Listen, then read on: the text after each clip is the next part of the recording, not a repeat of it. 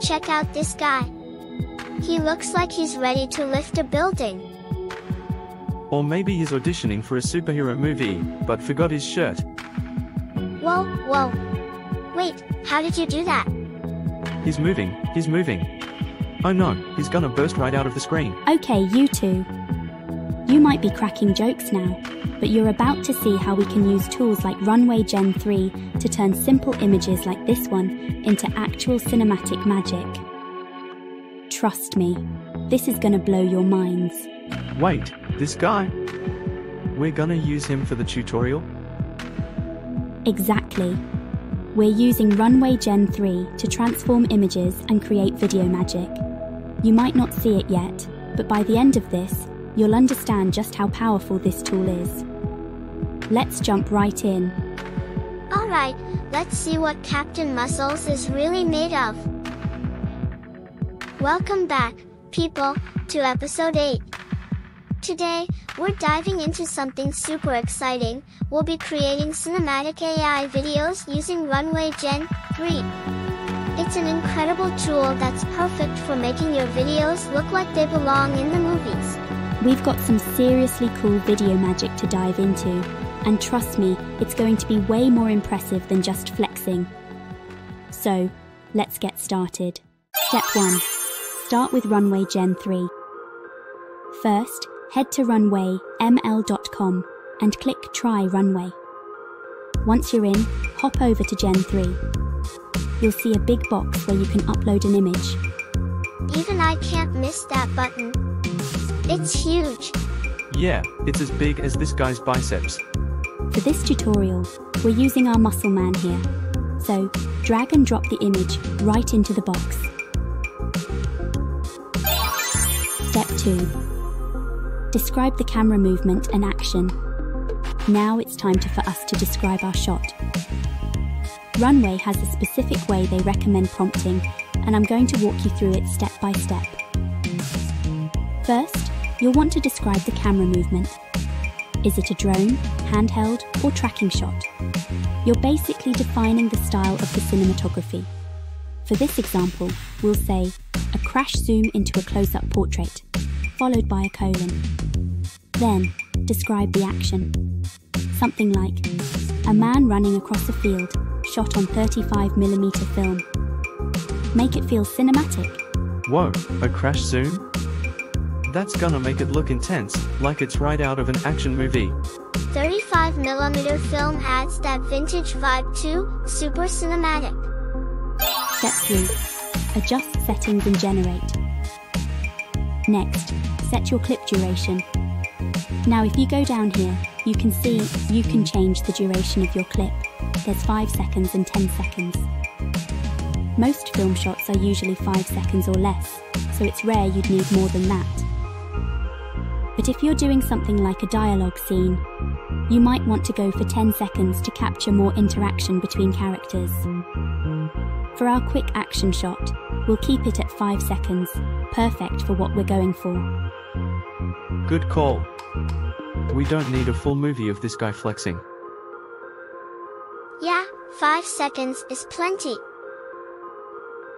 You can also go to Settings here to remove the watermark. This option is available through paid subscription. Once everything's set, hit Generate and let's see what we get. But before that, let's do a quick comparison between Runway and some other AI video generators so you know which one's right for you. So, let's check out three clips, one from Kling, one from Luma, and the last from Runway Gen 3.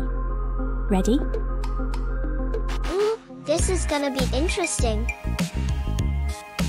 Yeah, let's see which one actually gets it right. First up, we've got Kling. You can see the movement inside Kling looks okay, but when we zoom in, not great.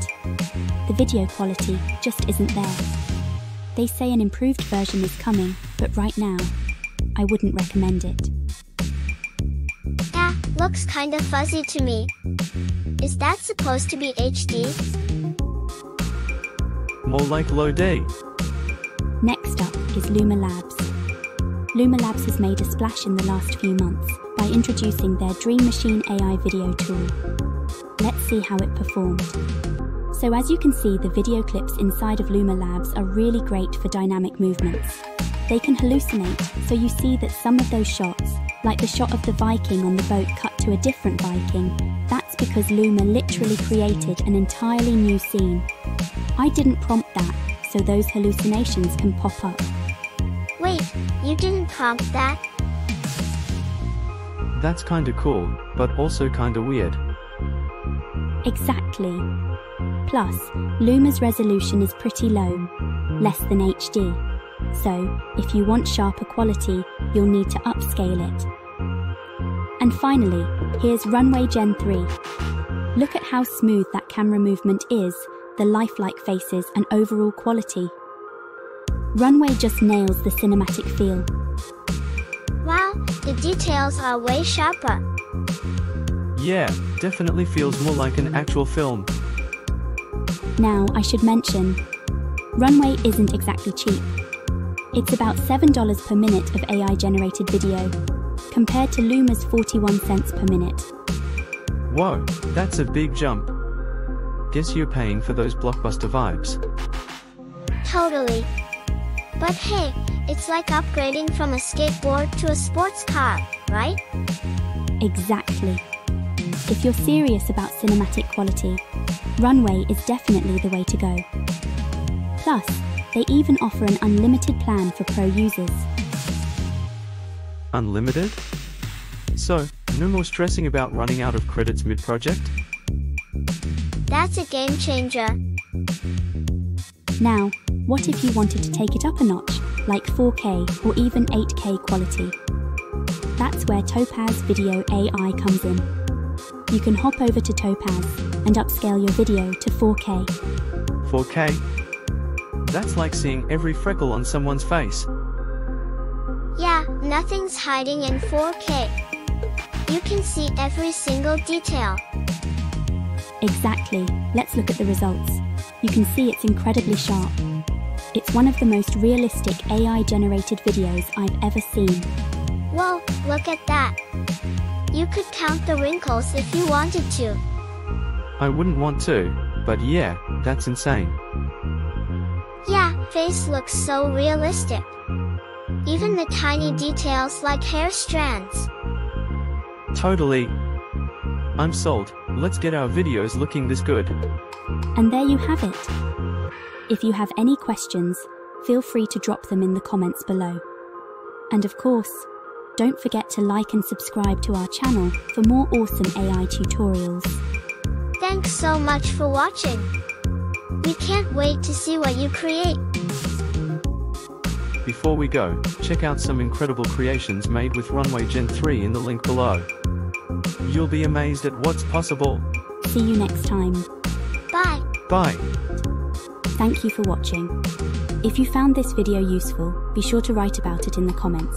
And don't forget to subscribe to the channel so you don't miss new interesting videos. See you in the next video.